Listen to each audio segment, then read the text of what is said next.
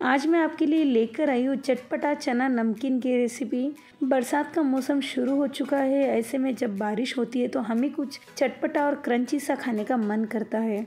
तो ऐसे में अगर आप इन सिंपल से चने को बनाएँगे इस तरह से तो अपने आप को खाने से रोक नहीं पाएँगे। और चना खाना बहुत ही ज़्यादा हेल्दी होता है तो चलिए आज चने की रेसिपी बनाना शुरू करते हैं। हेलो एवरीवन मैं हूँ पूनम और आप सभी का स्वागत है आपके अपने चैनल द परफेक्ट टेबल में।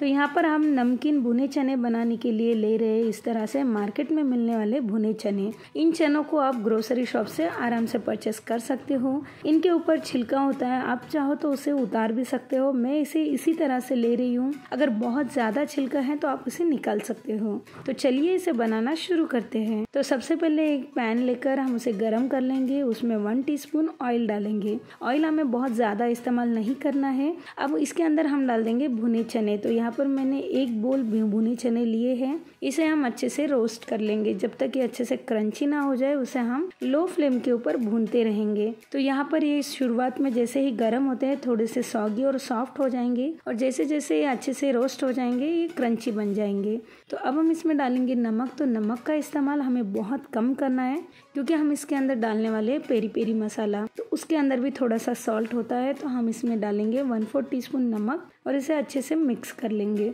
अच्छे से इसे लगभग पाँच से छः मिनट के लिए हम भून लेंगे ताकि बहुत ही बढ़िया एक क्रंची हो जाए। अब इसके अंदर डालेंगे peri peri masala one teaspoon. मैंने यहाँ पर पेरी पेरी मसाले का इस्तेमाल किया है। अगर आपके पास पेरी पेरी मसाला ना हो तो आप लाल मिर्च पाउडर, नमक और चाट मसाले के साथ भी इसे बना सकते हो। और पेरी पेरी मसाला घर पर कैसे बनाया जाता है, उसकी रेसिपी मेरे चैनल पर अवेलेबल है। उसकी लिंक मैं आपको डिस्क्रिप्शन बॉक्स में दे दूँगी, आप वहाँ जाकर देख सकते हो। तो चलिए, चने बन चुके हैं। अब फ्लेम को ऑफ़ कर कर इसे मिक्सिंग बोल में ले लेते हैं। तो कैसे लगी आज की हमारी ये बहुत ईजी और झटपट बनने वाले चने की रेसिपी हमें कमेंट्स कर ज़रूर बताना।